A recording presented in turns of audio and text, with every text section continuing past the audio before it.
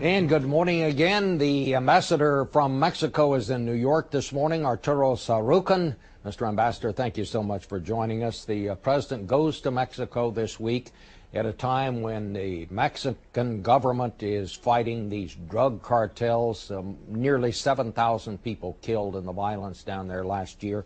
Uh, number one, uh, what do you want from the United States uh, on this front? And what will your president be telling uh, President Obama when he gets there?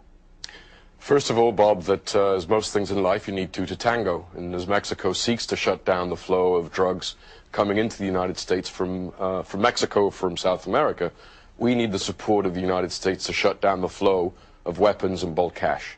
I think that it is very clear that President Obama has been seized by the importance of the bilateral relationship since even before his administration kicked off.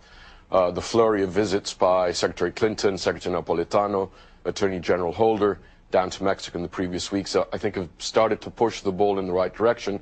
I think the key issue right now is how can the United States help to shut down those guns and shut down that bulk cash that is providing uh, the drug syndicates in Mexico with the wherewithal to corrupt, to bribe, to kill.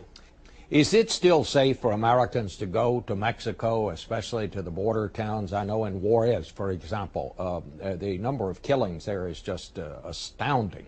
What would you advise Americans who might want to go to Mexico? Well, I think I think that if you go to Juarez, I would certainly advise precaution. I think that this is one of the places where we are uh, pushing these guys back. We're shutting them down there, and this is a place where we have seen a high concentration of drug-related violence.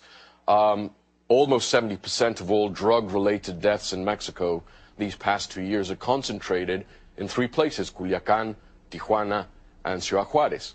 Uh, but if you go to the rest of the country, you will find a country that is at peace.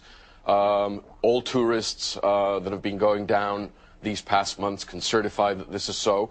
So yes, if you go to a place like uh, Ciudad Juarez, I think that precaution is necessary, but violence is not prevalent in all of Mexico's territory. Mr. Ambassador, what if uh, marijuana were legalized? Would that change uh, change this situation? This is a very divisive uh, issue. Um, there are proponents and opponents on both sides of the border. Um, I think that uh, those who would suggest that some of these measures be looked at understand the dynamics of the drug trade, that you have to uh, bring uh, demand down, and that one way that you could do it is by moving in that direction. But there are many others who believe that by doing this, you would only fan the flames. This is a debate that needs to be taken seriously, that has to be, uh, that we have to engage in on both sides of the border, both in producing, in trafficking, and in consumption countries. And it is a debate that has to be uh, taken on with seriousness. Mr. Ambassador, thank you for being with us this morning. A very serious subject. Uh, this will be a very important summit, uh, obviously, in your country. Thank you so much for uh, bringing us uh, your point of view on it this morning.